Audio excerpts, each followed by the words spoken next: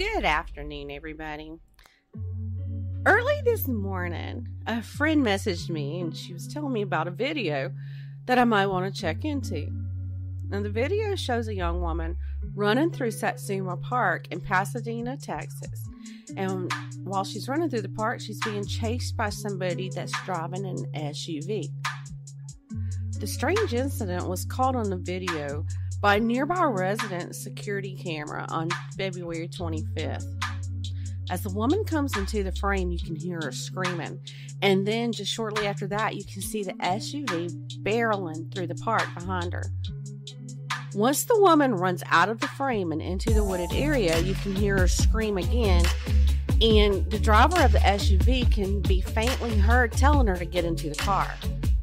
Now, the SUV is believed to be a gray Ford Escape. Police are unclear on if the young woman is okay, whether the man driving hit her with the SUV or if he forced her into the vehicle. They're also unclear on what started all of this. Like, was it a random act of violence or is it domestic related? Um, the video has been posted on Pasadena Police Department social media pages, and from those pages, it's been shared thousands of times. If you have any information on who this woman is, who the man is driving the SUV, or anything related to this case, you're asked to call 713 475 4822. And as soon as I know more on this, I'll be updating y'all. Now, I'd also like to take a few minutes and talk about a couple of recent person, I mean, recent missing persons cases.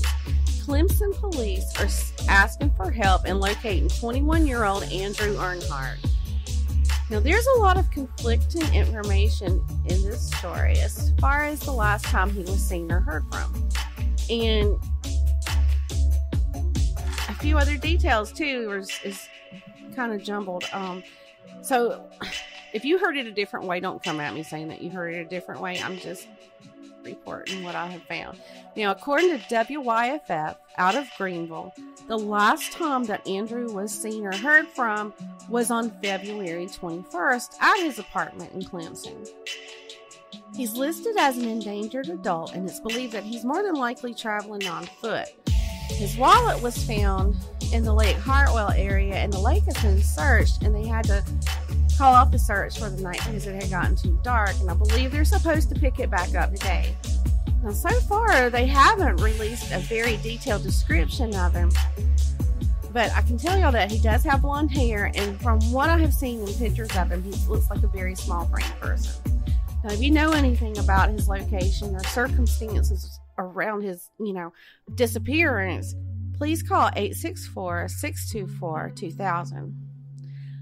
A couple of weeks ago, I brought to you a couple of missing persons cases from South Carolina. One of those cases is Alexis Ware, or Lex, as she's known by her friends.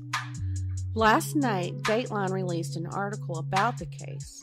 Alexis's mom, Alberta Gray Simpkins, told Dan, uh, Dateline that the weekend before she disappeared, she was with the family all weekend and she could tell that something was bothering her daughter. Alexis told her mom that she was afraid that she wasn't going to make it to see her 30th birthday. Late that Saturday night, Alexis also told her mom about being followed, but she didn't go into a whole lot of details in it. The next day, which was Sunday, Alexis left her family's home around noon, and that was the last time her mom saw her. Later that Sunday evening, the father of Alexis's youngest child called Alberta asking if she had seen Alexis. And he also told her that he had met Alexis at a gas station and she left both of the kids with him. Now, they had originally planned on all going over to his mom's house, but when Alexis got in her car, instead of following him, she went quickly around his car and she took a right at um, the red light that was close by the gas station. She was gone and it was like she had left in a big hurry. Now, when the family hadn't heard from Alexis by February the 1st, her sister called the police to file a missing persons report. There is surveillance video footage of Alexis meeting with that ex at the gas station, and nothing seemed wrong until the way she left out of the parking lot. Now, they have checked out all the alibis, you know, for that ex during that time frame, and all of those have checked out. As you may recall, Alexis's car was found in McCormick County a few days later, and inside of that car, they found her phone, her daughter's phone, her ID, her purse, and a bag of clothes. Now, Alexis has no ties to anybody in the McCormick area as far as her family knows, so they're really puzzled by it. And I'll post a link to this article that I mentioned from Dateline in the episode description so that you can read it in its entirety. But if you have any information on this case, please give the Anderson County Sheriff's Office a call at 864 260 4405 and they want you to reference her case number, which is 2022 01369.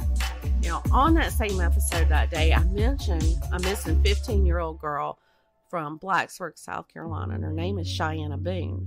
Now, since I first talked about this, I'm not able to like find any updates.